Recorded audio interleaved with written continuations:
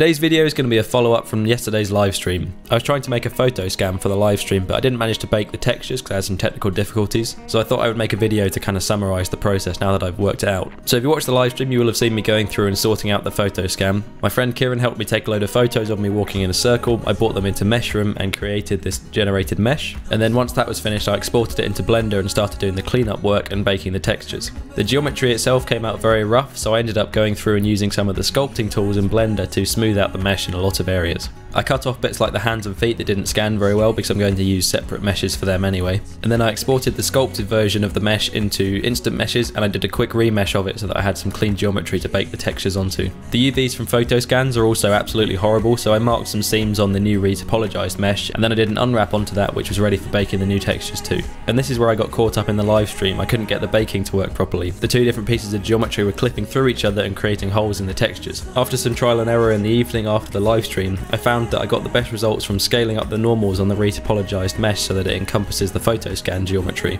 This is what the baked texture came out looking like before I scaled the normals. You can see it kind of works but it looks a little bit low res. Once I scaled up the normals on one of the meshes it ended up looking a lot better and you can see the change here when it finishes baking. Then I extruded a couple of bits like the end of the sleeve so they weren't just a hollow piece of geometry. And then as you can see the bake of the textures in some areas is quite blotchy that's because the leather jacket is slightly reflective, so the light was changing as Kieran was moving around me taking photos. And this confuses the photo scanning software because it thinks that the object is changing when actually it's just the lighting on it. So to fix that, I saved the UVs out of Blender and then brought them into Nuke. And then I took some of the photos that Kieran took from the actual photo scan and used these to reapply the textures of the jacket onto the UVs. With a bit of clone painting and grid warping and transforming stuff around, I could get it to fit, and then it looks really, really nice. And obviously these are 6K photos, so they're much more high resolution. So I ended up getting a huge amount of detail into the UVs, much more than I would have done just from baking the textures. And this is the rest of that process. It's pretty straightforward, so I'll just leave some music playing and let the time lapse play itself out. Photo scanning is really fiddly, but when you get it working, it's quite rewarding and the results come out really cool.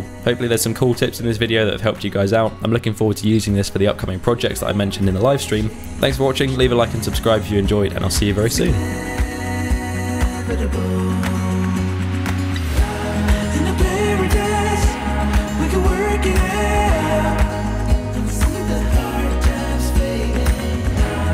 the sun.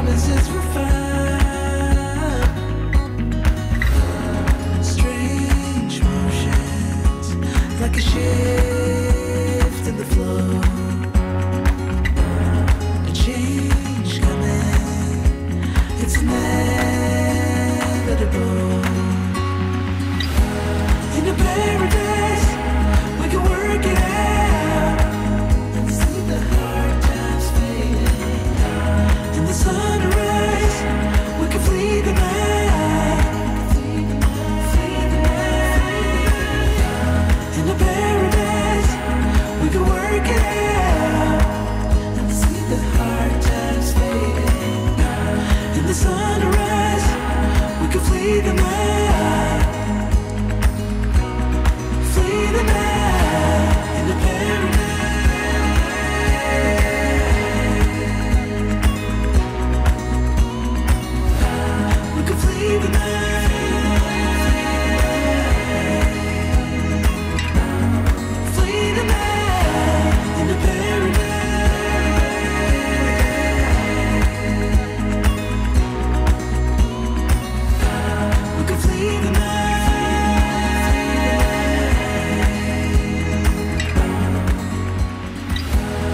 every day, every day.